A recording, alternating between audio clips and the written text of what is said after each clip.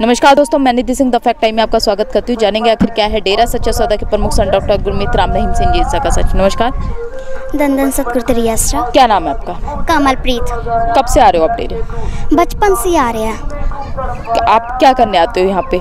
यहाँ पे हम सेवा करने आते हैं। कैसी सेवा मतलब किस तरीके की सेवा करते हो? कभी हम क- खुदाई करते हैं तो कभी घास उठाते हैं बस ऐसे कभी कल कली करते हैं पेड़ों पर बस ऐसे।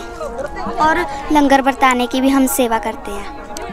आप यहाँ पे आते हो कैसा माहौल देखा बहुत अच्छा। ऐसा दुनिया में नहीं है जैसा यहाँ पे है।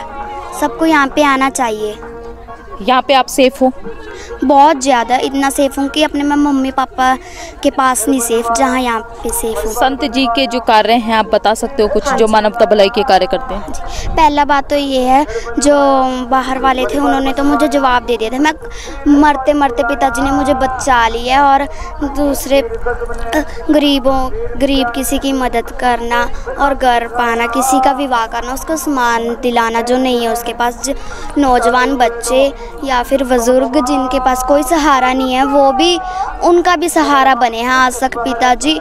और जिन जिन लोगों को बहुत खूनदान की ज़रूरत है वो भी खूनदान करते हैं। कैंप लगता है जिनकी आँखें ख़राब है वो भी होता है। और जिनकी जान जान जाती है उन, उनको भी पिताजी बचाते हैं। इतने बहुत सारे कार्य हैं कि हम बता नहीं सकते आपको। मीडिया चैनलों पर फिर इन कार्यों को छोड़ के जो भी सूत्रों के हवाले से खबरें दिखाई गई आखिर क्यों क्यों बदनाम किया गया?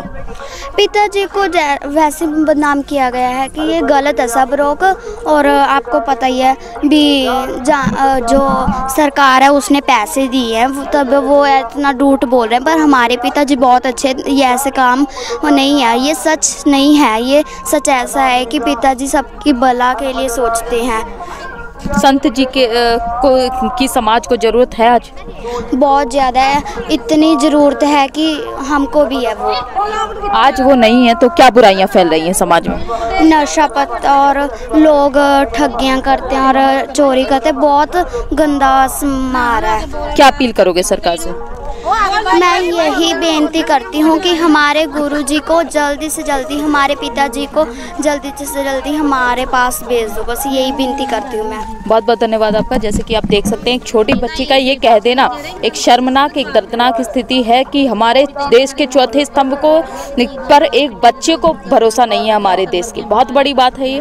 तो ये अपील है लगातार लोगों की तरफ़ से कि अपनी हरकतों को सुधारा जाए और साथ ही संत जी ने जो कार्य करे हैं, सारे कार्य इन्होंने, इस बच्ची ने बताए हैं, कैसे ब्लड डोनेट करा है, कैसे ऑर्गन डोनेट करके लोगों की लाइफ बचा